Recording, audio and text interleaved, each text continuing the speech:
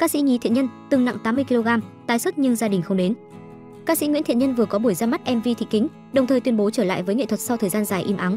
Sản phẩm âm nhạc lần này chính là sự tri ân của cô dành cho khán giả, bởi suốt thời gian qua, khi cô không ca hát và gặp phải những ồn ào, khán giả vẫn hết lòng dõi theo và ủng hộ. Trong ngày Thiện Nhân ra sản phẩm âm nhạc, gia đình không đến chung vui cùng. Khi được hỏi về mối quan hệ với người thân, cô bày tỏ, tôi không ngại chia sẻ về chuyện cá nhân, nhưng có những điều mang lại sự tiêu cực, nên tôi xin phép thời điểm này được khép lại câu chuyện đời tư của mình. Chia sẻ về cuộc sống thời gian qua, Thiện Nhân cho biết cô rất nhớ sân khấu cũng như khát khao được hát.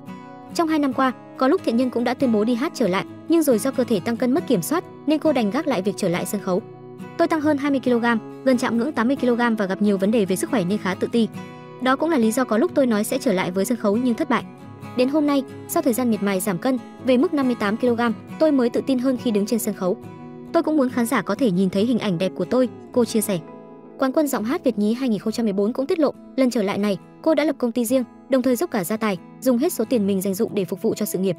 Dẫu có những lúc băn khoăn, khó khăn về mặt tài chính, nhưng cô cho rằng việc đầu tư cho sự trở lại này là xứng đáng.